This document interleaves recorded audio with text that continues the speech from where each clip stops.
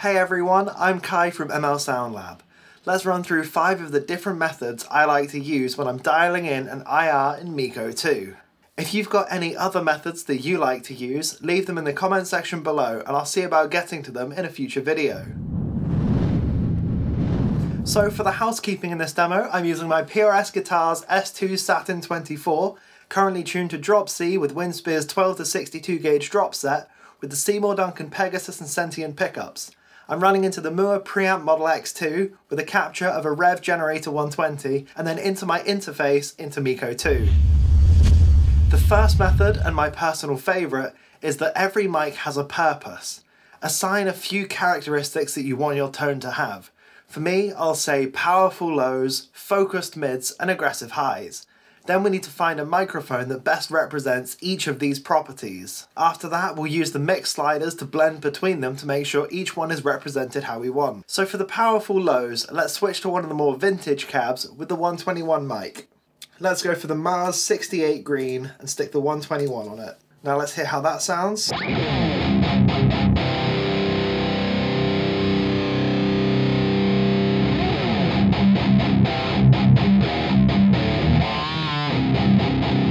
That sounds pretty good. Now we'll get the mid-range with the 421. Let's go for the Mars Mofo. Let's solo this mic so we can hear what it's doing.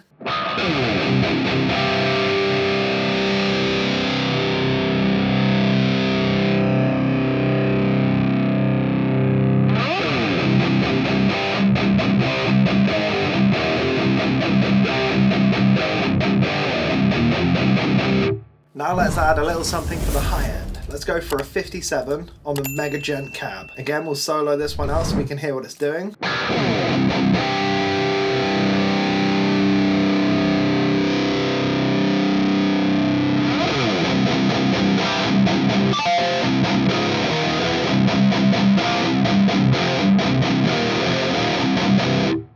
Now let's hear how all three of these sound together and then we'll dial the mix in.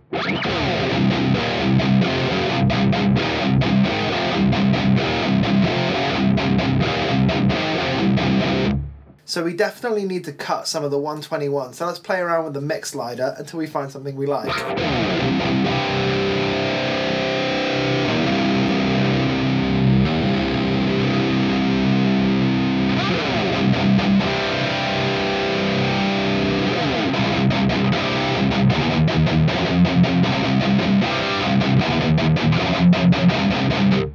Now let's finally adjust the latency just to sort out the high end a little bit.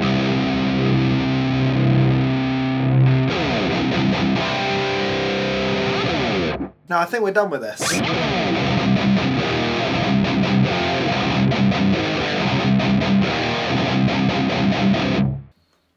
The second method I like to use is all about keeping it simple with a single microphone. Thousands of great guitar tones have been made with a single well-placed microphone on a well-picked cab. We'll start with a nice balanced sounding microphone like this, so something like the 160 will work really well place it on a cab you know is in the general ballpark of what you're after. So for me this would be the Gent V30. We'll stick the 160 on it and then we'll find a placement that we like.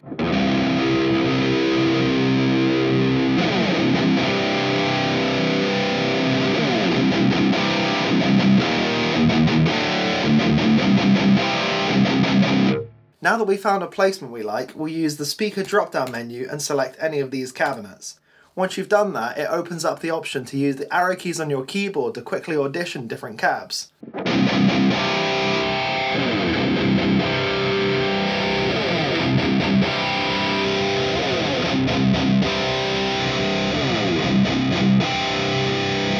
So I think I'm liking how this mega traditional sounds, so now let's just fine tune the mic placement a little bit.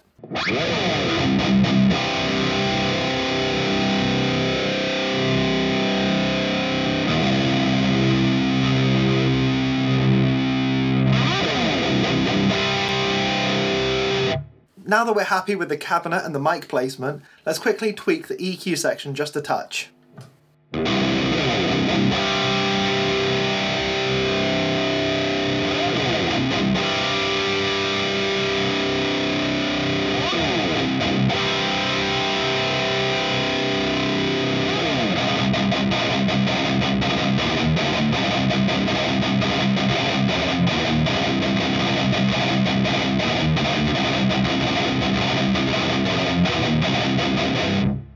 Expanding from that is the third method. Every mic sounds great. You'll essentially follow the same path as the first one, but you'll add a bunch of different microphones that all sound great in isolation. Then hopefully when you blend them all together, it'll sound great. One thing you really want to pay attention to when you're using this method is try and add different cabinets and different microphones. The more varied you go with it, the more chance you'll end up with a balanced tone. So we've already got the Mega Traditional with the 160 that we liked earlier. Let's now add something different. Let's go for the Ed VH 4x12 with the 906 microphone on it. We'll solo it to hear what this one sounds like.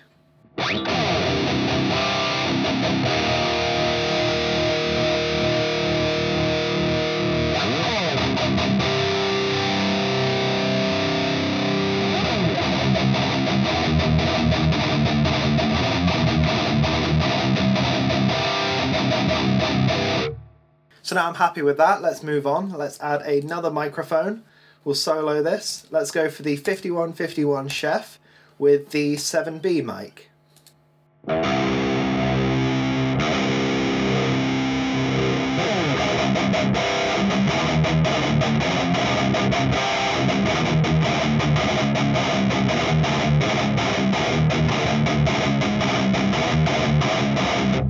Now let's add another microphone. Let's go for the Mega 91 green this time. And let's go for the 121.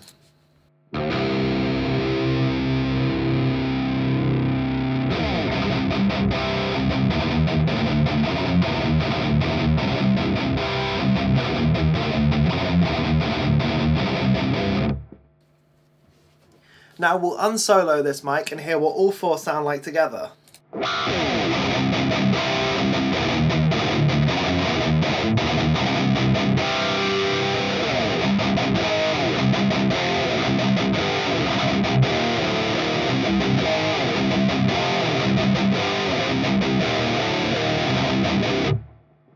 Now the fourth method on this list is a little bit more involved, but it can really help you change the way you look at miking up a cabinet. For this one, we're going to take advantage of the phase reverse feature. Firstly, you want to add two microphones that you know pair well together, something like the 57 and the 421 or the 57 and the 121. Let's pick the black back cabinet. We'll stick the 57 somewhere near the centre, and then we'll add the 121 as well. Also put this one near the centre.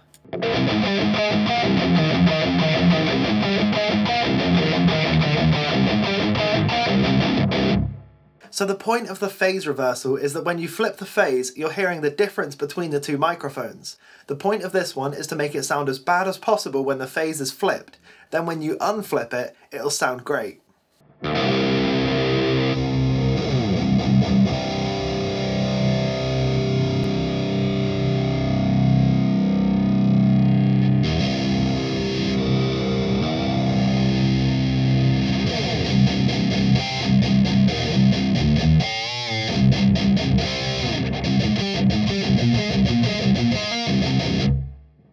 That's sounding pretty awful. We've got really subby sounding lows, really honky mids, and really harsh highs. So let's unflip the phase and see what we've done.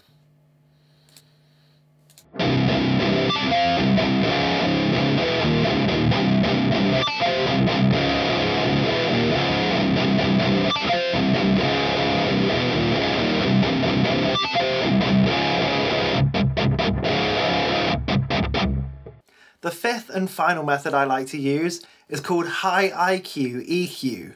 This one is a total gamble, but it can be fun sometimes. What you want to do is you want to randomly add different microphones to different cabinets and pay attention to the EQ graph. Try and aim for something a bit balanced and a bit flat and see what it sounds like. So let's go for a 421 on the Uber V30. We'll see what that's like. Then we'll add something else. Let's go random. We'll pick Mega 4x12 04 green and the 160 on it. Let's put that there. Let's go for the Boomtown with 57. We'll put the distance back on this one just to see what that's like. Then we'll add the Mega Trad Blue. We'll go for the 184 mic on this. Now the Ed VH 4x12 with the U3. pull the distance back in, adjust the tilt on this maybe. Let's add the, let's go for the Anger cab. Uh, the 906 on it. Let's change the tilt a little bit more. Let's pull the distance back a touch and we'll place it there. Now there's an absolute cluster of microphones on this cab right now, but let's see what it sounds like. I haven't heard it at all up to this point, so this could be awful.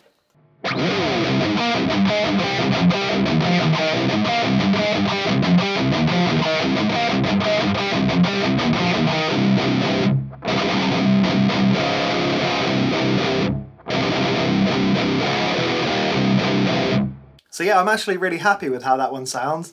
This method is a complete gamble as I said, but sometimes it pays off. So there's five methods to help you get up and running with the MIKKO 2 plugin. Let me know in the comment section which one of these was your favourite, and if you'll be implementing any of these methods going forward.